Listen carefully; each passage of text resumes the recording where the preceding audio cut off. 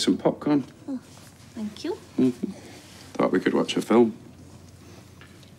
I don't know if I've got one in me.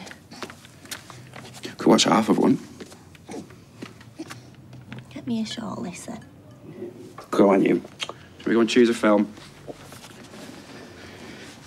Ready? There we go. What about Wallace and Gromit? Oh, uh, I might have to have a bit of a rummage. Why is it that popcorn goes so well with films? It's like uh, candy floss at the fair, isn't it? I like it what the Americans call it. Cotton candy. Cotton candy. I like what the Americans call it when the clocks go back. Daylight saving.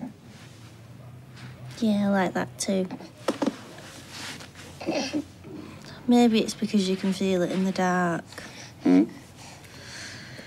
That probably helps. Yeah. Plus, it's a great sharing food. Mmm. It's a very good sharing food. Hint, hint. Oh, sorry. Well, that was terrible, wasn't it? And it's not too loud either, like crisps. Crisps drive me mad at the cinema. That's something I won't have to put up with anymore. Don't say that. Silver linings. Sinead. We're on the home stretch.